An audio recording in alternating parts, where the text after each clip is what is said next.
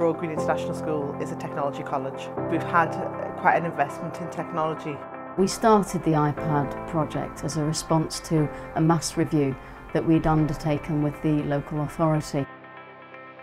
We felt the students needed to be probed and extended further.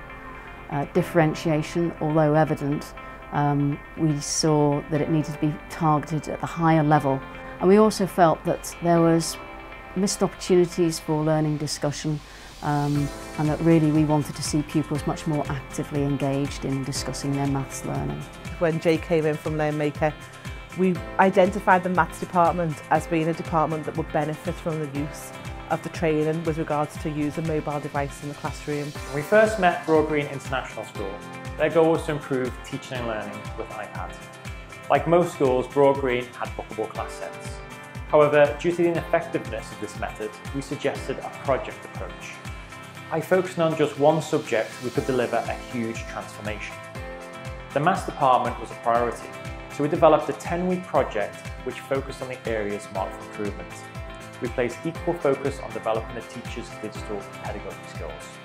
The big goal was to start a sustainable transformation, and repositioning the iPad as secondary to the pedagogy was the key to achieving this.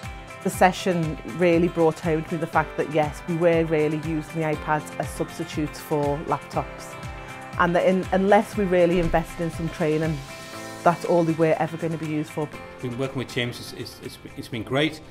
Some staff thought, oh, we're going to get lots of resources and we can just use them, but that wasn't the point of the project. It was obviously more skills-based, gives us the skills to to do it ourselves. Now you have an iPad, you can get direct feedback from the teacher. You can ask her questions and she'll answer it straight back. If you don't understand anything, you can say, oh, I don't understand this question, could you help me out? And she could come back and correct it for you, and then you can do it again. You go back on the iPad, and you're very happy to see that you've done well. I think I'm getting better because I'm getting direct feedback from the teacher which really really helps. I found it really exciting for you to and explain everything so far. With their exercise books it might be a few weeks before I've got round to marking them so now if they've done a lesson where they've done a particular task then I can give them instant feedback straight away.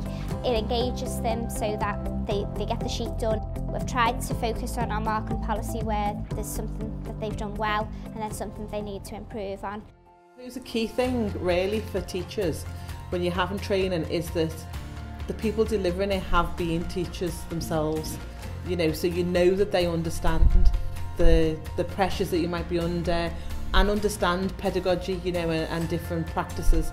We've been really delighted at the way the MASS team have just embraced the project. In terms of developing pedagogy, we felt that the iPad project was a great opportunity and a really exciting, innovative way to develop the skills of staff.